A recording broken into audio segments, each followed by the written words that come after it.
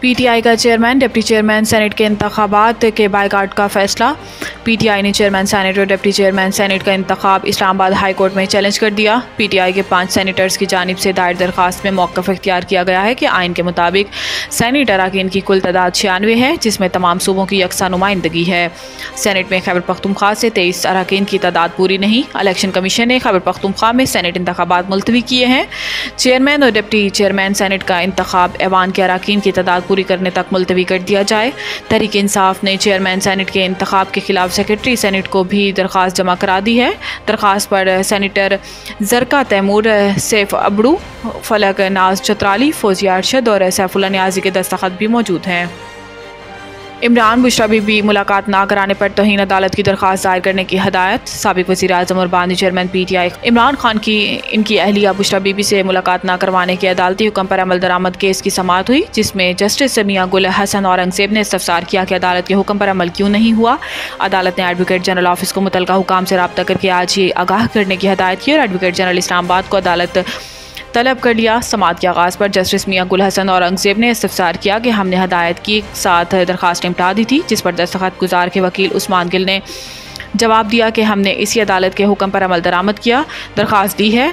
Justice मियाँ गुल हसन औरंगज़ेब ने रिमार्क्स दिए कि आप तोहन अदालत की दरख्वास्त फ़ाइल करें, हम कार्रवाई करेंगे। कैसे अदालती अहकाम को नज़रअंदाज किया जा सकता है?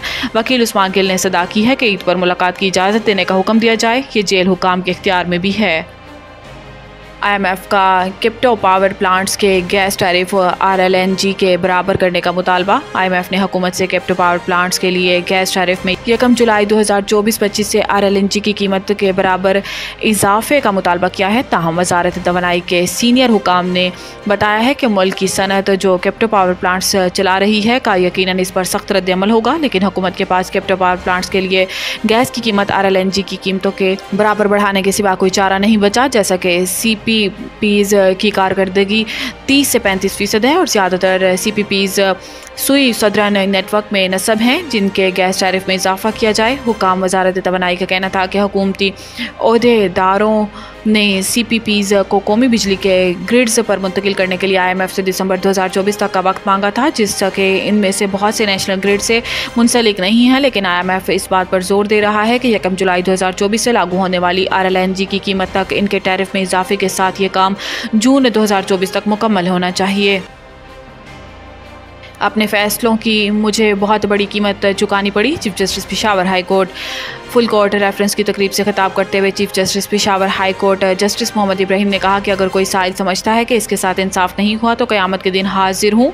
इकतीस साल के अरसे में पंद्रह हज़ार फैसले दिए। जस्टिस मोहम्मद इब्राहिम ने कहा है कि पंद्रह हज़ार फैसलों में पाँच सौ नौ फैसले सुप्रीम कोर्ट में चैलेंज हुए। इनमें से भी दो सौ उनासी को अदालत उज़मा ने बरकरार रखा। पिछले कुछ अरसे में हमने कानून के मुताबिक फ़ैसले किए, मगर हमें सियासी जमात से मनसूब किया गया। हमारे कानून के मुताबिक फ़ैसलों पर सियासी जमातों की जानब से तनकीद की गई।